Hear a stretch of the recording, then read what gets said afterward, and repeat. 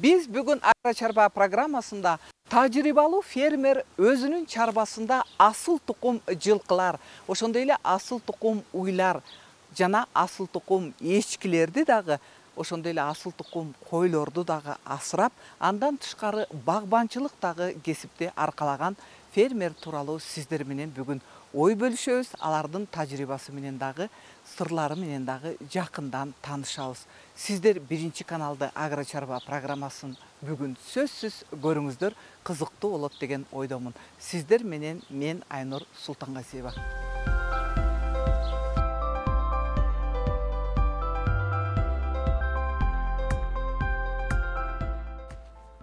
саламатсызбы кандайсыз жакшыбы жакшы келдиңизби жакшы сиздин чарбада ар түрдүү асыл тукум малдарды асырап анан кыргызстанга жайылтып көбөйтүп атат деп көптөн бери угуп жүрөм атайын чарбаңызды өз көзүм менен көрөйүн деп келдим асыл тукум малыңыздын кандай түрлөрү жана аны кантип көбөйтүп атасыз?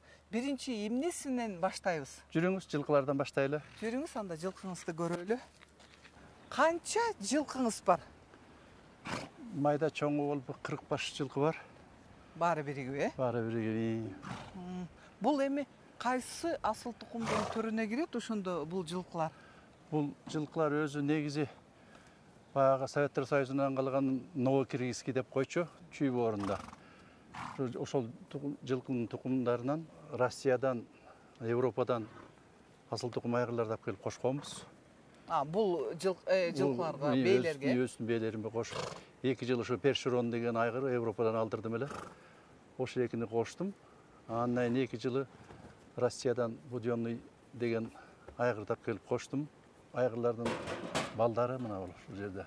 Мына ушул могу өз өзүнүн бээлери мына чоң чоң чоң бээлер могул чоңдору э мына бир жаштайларды көрбөйсүз мына асыл тукум үчүн ушундай чоң болуп атат да чоңойбой калсын ооба мына бир жаштайлар мына булар а мынабунун ичинде мына мына четте турган эки жаш мына көрбөйсүзбү могу э энесинен да чоң десе болот да мына жанында турган энеси ушул энесинен бир аз эле айырмасы бар экен э көрбөйсүзбү асыл тукум деген ушундай болот экен да. Касиети жакшы ооба биринчи алгач канча жылкы менен баштадыңыз?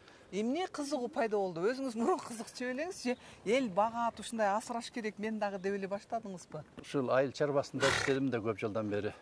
Союз тараганга чейин союз тарагандан кийин анан өзүбүз эле зоотехник өзүбүз эле вет врач болуп алдык. Өзүбүз эле багабыз кормлениесин да өзүбүз кылабыз жем чөбүн өзүбүз даярдайбыз мурун. Советтер союзу учурунда совхоз колхоз даярдап берчү да. Өзү кызыгам да мен өзүм кесибим боюнча зоотехникмин балам өзүмдүн кичүү балам дагы бул жылкыга аябай кызыгат анан жылкыларды көбөйткөнүбү ооба ооба анан жана көк бөрү деп азыр аябай жакшы болуп калбадыбы көк бөрү ушул көк бөрүгө жылга бир айгыр эки айгырдан сатып турат ошо көк бөрүгө катышат э? өзү ышкыбоз ошого уулуңуз атайын бул жерде таптап асырап туруп андан кийин көк бөрүгө катыштырат экен да э сөзсүз түрдө көк бөрүгө алып барып көрсөтөт анан кийин жактырганда ошол келип алып кетишет көбүнчөсү могу таластык жигиттер келип алып кетип жүрүшөт сиздерден э ооба а биринчи алгач канча жылкы менен баштадыңыз эле биринчи да биринчи эми калп айткан кишиге бир эки үч эле жылкы болчу башында э башында анан тиги мурун бир жылкы багат дегенди бай кишидей элестете берчүбүз да советтер союзунун учурундачы кантип багат болду экен ошону деп анан жемин чөбүн даярдаш деле даярдаш деле кыйын болчу да анан акырын акырын көндүк ошол өзүбүз чарба кылганга а бул жылкыларыңызды кайсы жака кармайсыз каяка чыгарасыз жайлообуз мына кеңтөр деп коет ушу кеңтөрдө багабыз ылдый жакта чөп эгин чабып алганга чейин ушул жакта кармайбыз анан бул айдоо аянттар бошогондон кийин жылкылар өзүлөрү эле түшүп келет жогору жакта салкын болуп калат ошондо өзү эле түшүп келет бу жерге кышында сарайда кармайбыз жем чөбүн даярдайбыз негизинен эмне жем чөп бересиз эми жылкы бул өзү асыл мал да. Буларга чөптүн жаманын бербеш керек. Беде даярдайбыз жемин даярдайбыз арпа даярдайбыз арпа беребиз сиз баардыгына кантип үлгүрөсүз өзүңүзчү мисалы үчүн бул жакта асыл тукум уй дагы кой дагы асыл тукум эчки анан жылкы баардыгын бир мезгилде өтө эле оор го жардамчы кошумча жумуш иши аласызбы же үй бүлөдөн кимдер жардам берет өзү үй бүлөдөн кичүү уулум ушу мени менен чогуу туурабы ушу кичүү уулум багат мен анын жардамчысымын эми а экөөңүздөр бири бириңиздерге Ооба. жардам берип э о негизинен ушул уулум багат жетишет өзү анан жайдын күнү неберелерим келет ушу неберелер жардам берет элге окшоп саабайбыз анткени асыл тукум айгыр кошкондон кийин кулундары сүттөн өксүп калат анан кийин кымбатыраакка сата албай калабыз ошон үчүн бээнин сүтүн Ооба, кулунуна кетет ооба, экен да өсүнө өсүнө кеткендей кылып гана коебуз жана бээни саагандарды көрүп атабыз анын кулундардын баары катып катып калат кичинекей кичинекей болуп калат өспөйт негизинен асыл тукум жылкы баккан бул машакаттуу жумушпу же көнүп калган мындай жылдан жылга бага берсең оңой эле көрүнөбү кандай өзү ооба ар бир нерсенин машакаты болот да. Жөнөкөй эле жылкылардан бага берчүбүз анан жайлоо жайытка айдап коюп эле жем чөп бербей эле бага берчүбүз арык болсо арык болот эми буларга андай болбойт экен бул асыл тукумга кичине башкачараак көңүл буруш керек экен жемин чөбүн убагында берип убагында бербесең болбойт кулун салып коет дегендер да бар дагы ачыкка болсо эле кулун салып коет андай болбош керек да курсагын ток кылып туруш керек жем чөбүн жакшылап бербесе болбойт сиздин ушул корооңуздагы чарбаңыздагы асыл тукум жылкылардын башка жөнөкөй жылкылардан жем чөптү аз жейби же көп жейби асылдуулугу эмнеде анан жем тоют боюнча чыгымы канчалык да же бирдей элеби чыгымы бирдей эле болот жашырган эмнени бирок бул жылкыларга бир маал жем бербесе болбойт бир маал жем жыттатып туруш керек да жайлоодо болсо деле жем берип туруш керек э кыштын күнү кыштын күнү кыштын күнү ооба жайытка кечкисин түнү менен жем чөп беребиз кечкисин салып коебуз анан бир маал жем бериш керек а күндүзүн айдап коебуз жайытка өзүлөрү келип калат кечинде мына азыр бул жерде турган асыл тукум ушул жылкыларыңыздан башка сиздин уйларыңыз дагы бар да азыр каякта ал уйлар? Уйлар мына бул жерде жайылып турат. Бул жака барып көрсөк- жакын эле жерде. көрсөк болобу? Ооба көрөлү жүрүңүз анда.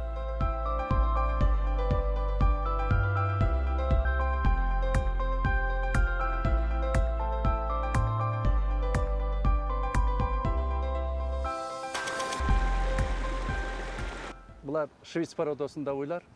Аркы булар э? Э, аркы галштин мынабу галштин уйлар. Канча баш уюңуз бар? Баары биригип элүүдөн ашык кунажындары менен мусоосу менен элүүдөн ашык баш бар.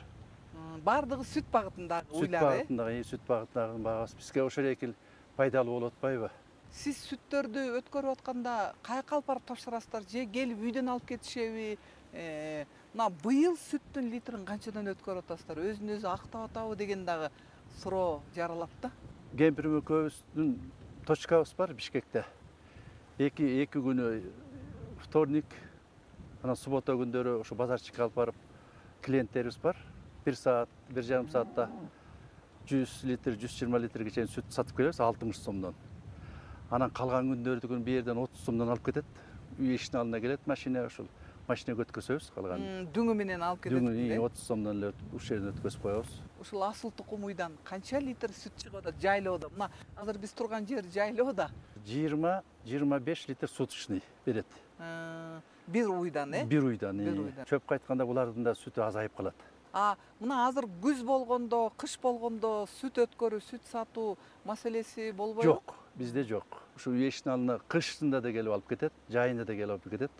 Күндө алып кетип күндө турат, алып күндө алып- ушул жерден келип жыйнап кетет э? бул уйларды жаңыртып м, кайрадан э, музоосун алып Ооба. торпогун алып калып көйтөсүздөр да ооба а мисалы үчүн картайган уйларды каяка жибересиздер эмне кыласыздар картайган уйларды жем чөбүбүзгө карайбыз дагы жем чөп көп болсо байлап сатабыз жем чөбүбүз азыраак болсо түз эле базарга алып барып сатып жиберебиз А, жемге чөпкө акча кылыш үчүн э жем чөп жыл өткөн сайын кымбат болуп баратпайбы барган сайын. Азыр айтып атасыз да мына быйыл аябай ысык болду былтыр деле ысык болгон бирок быйыл өзгөчө ооба. э, ысык болуп атпайбы булардын жемин чөбүнө канча чыгым кетет мисалы үчүнчү канча сиз э, чөп даярдайсыз да ушул асыл тукум уйлардын эле өзүнө? Мен өзүмдүн энчи жерлерим бар бирок энчи жердин чөбү буларга жетпейт. Мен анткени малымдын башы көп болуп атпайбы. Анан чөптү сатып алабыз могу ылдыйкы зонадан барып алып келет. Быйыл ушул миллион сомдун тегерегинде чөп сатып алып калдык. Сиз тажрыйбалуу мурун зоотехник болуп да союз учурунда иштегенсиз азыр эми фермер болуп жеке өзүңүздүн чарбаңызда көп жылдан бери иштеп эмгектенип атасыз да? Асыл тукум уй бакканга караганда жөнөкөй уй баккандын айырмасы эмнеде? Артыкчылыгы эмнеде? Албетте эми бар да. Тигил кыргыз уйлардан калп айткан менен болобу эчкиникинен эле сүт алынча беш литр алты литр э, мыктаганы он литрге чейин эле барчу да. Анан ошол асыл тукум уйдун жегени менен тигинин жегени бирдей эле айырмасы жок экөө бирдей эле ооба жем бирок мунун керешеси көбүрөөк болуп атпайбы асыл тукумдуку э? Асыл тукумдуку керешеси көбүрөөк болуп атат сиздин ушул асыл тукум уйларыңыз э, мурун жөнөкөй кыргыз уй бакчу элек деп атасыз да сыры эмнеде? Асыл тукум уйдун артыкчылыгы сүттү көп берип атпайбы анан баарыбыз эле азыр экономист болуп алдык эсептеп көрүп атабыз да мунун дагы кирешеси көп жөнөкөй уйга караганда эми мурун чарба мынчалык чарба кармаган эмеспиз да. Бир уй эки уй эле бакчубуз анан эми муну көбөйткөндөн кийин машакаты да болот экен кантип болбой койсун. Кайтарыш керек кечке чейин малчыга акча төлөш керек. Мурун бадага бир эки үйдү кошуп койчубуз бадага кете берчү да. Бул уйлар жакшы. Мусоолорун да кымбатка сатабыз. Канчага сатасыз? Мисалы үчүн сыр болбосо. Асыл тукум уйдун бир музосу канча турат? Мунун мусоосун эки айга чейин жакшылап багып туруп элүү миңге сатса болот. Жөнөкөй уйдун торпогун бир жыл багып туруп ушул бага сата албайбыз. Көрбөйсүзбү бир жыл баккан жакшыбы же эки ай баккан жакшы? Эки ай багып туруп мусоосун сатып ийсе болот элүү миң сомго чейин кетет. Асыл тукум уйдун э, Ооба. музосунун артыкчылыгы ушунда экен ооба билинип эле турат? Мындай жөнөкөй көз менен деле карап эле билип коебуз да ошо уже асыл тукум мал экенин. Бул жакта жылкылар бул жакта уйлар э, койлорду каякта Мына- жаясыздар жайыт кенен теге кең төргө чейин ары ошол жакта болот койлор. Кең төргө чейин айдайсыздар э? Ооба кең төргө чейин э? кете берет. Мына азыр биз бул жерде асыл тукум уйларды көрдүк да. Эми могу айтып атпайсызбы тиги жайлоого чейин бийикке чейин чыгышат деп койлорду эчкилерди уйларды. Э азыр мына асыл тукум эчкилериңиз менен койлоруңуз э, кайсы жагында? Жүрүңүздөр көрсөтөйүн мына жогору жайылда турат. А бул жакта э? Ооба. Жүрүңүз анда.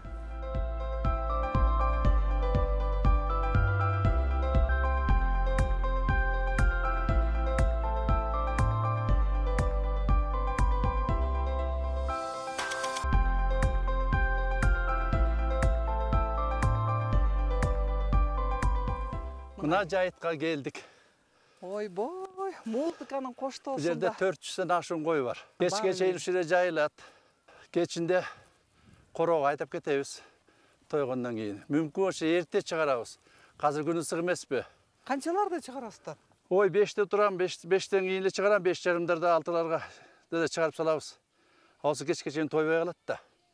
Кечинде канчаларда кайра айдап Кечинде- кетесиздер тогуз жарым он болуп калат ошолордо камайбыз бул койлордун жүнү же эти же өзүн сатасыздарбы кандай максатта багып атасыздар да асырап? Бул кой арашан породасындагы койлор мунун эт негизи эт багытында мясо сальный деп коет го эт багытындагы койлор булар кочкорун кочкорун жылга чоң бубада алып келип которуп турабыз дүйнө жүзүндө арашан породасындагы койлор биринчи орунда турат кочкорлору эки жүз килограммдан ашык эки жүз отуз килограммга чейин барат кочкорлору ошондо көбүнчө кардарларыңыздар кимдер каяктан келип алып кетишет же алып барып базарга сатасыздарбы өткөрөсүздөрбү кандай кыласыздар базарга деле алып барабыз бирок өзүлөрү келип алып кетишет кыдырып козуларды көбүнчө буларга эмне тоют кандай жем берилет мисалы үчүн кышкысында арашан койлору негизинен жайытты эле жакшы көрөт биз кышында карды аралатып эле жаябыз чөптү өзү эле таап алат булар ну бирок кечинде бир маал жемин беребиз анан кышкы чилдеде күн катуу суук болуп жана бороон чапкын болгондо ошол күндөрү гана тоют беребиз чөп беребиз ушул асыл тукум арашан койлорду багып баштаганыңызга канча убакыт болду кирешелүү болгон үчүн багып атасыз да туурабы жакшы болгон үчүн арашан арашан койлорду могу союз тарагандан кийин ак койлордун ордунда муну ба- багып калдык кантта мисте бир тажик чал бар эле Шар- шарип деген. Ошондон кочкор алып ак койго кошуп анан ак койдон бул койлорду куйруктуу койлорду алдык да. Улам козусуна улам кочкор алып келип атырып.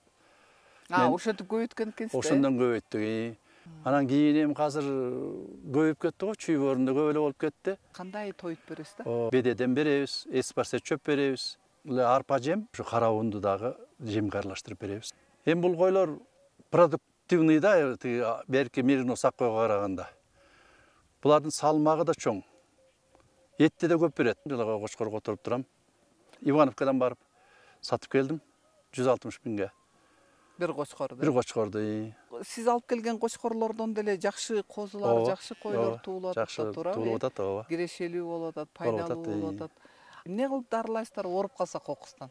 Шаардагы вет врачтардан консультация алабыз момундай болуп ооруп атат деп ошонун да- берген дарыларын сатып келип өзүбүз сатабыз өзүбүз дарылайбыз булумкөбүз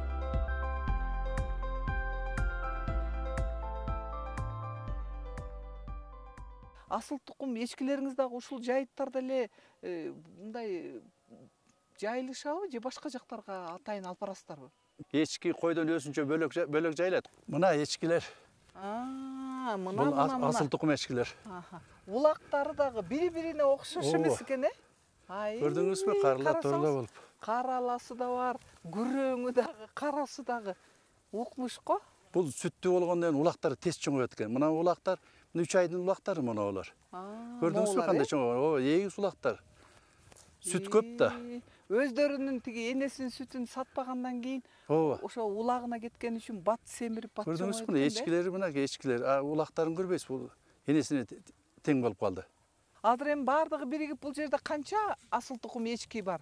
Кырк кырк тубар кырк улак бар. Былтыркы чебиштерден жыйырма бар. Ошо менен жүз баш бар да бул жерде. Бир улакты канчадан сатасыздар?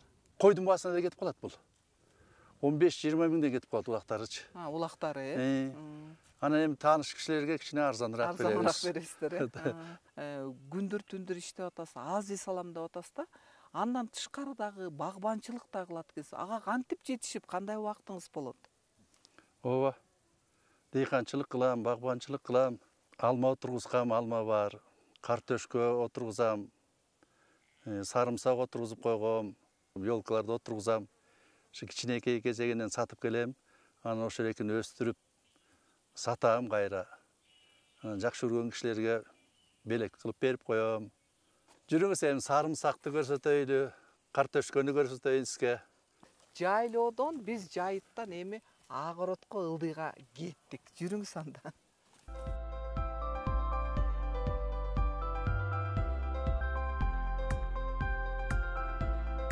Тоонун картөшкөсү удобрение берилбейт. Суу деген тоодон мөңгүдөн келет таза суудан сугарабыз бул сарымсак. Бул сарымсак. Өзүбүз жейбиз бала бакыра жейт андан артканын сатабыз.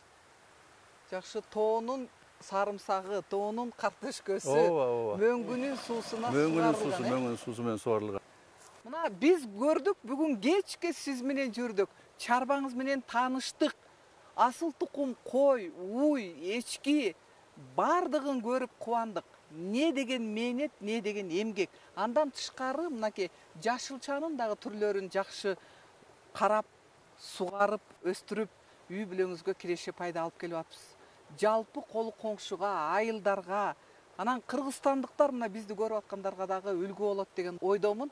Сизге ийгилик каалайм. Жакшы калыңыз. Балдарыңыздын ийгилигин көрүңүз.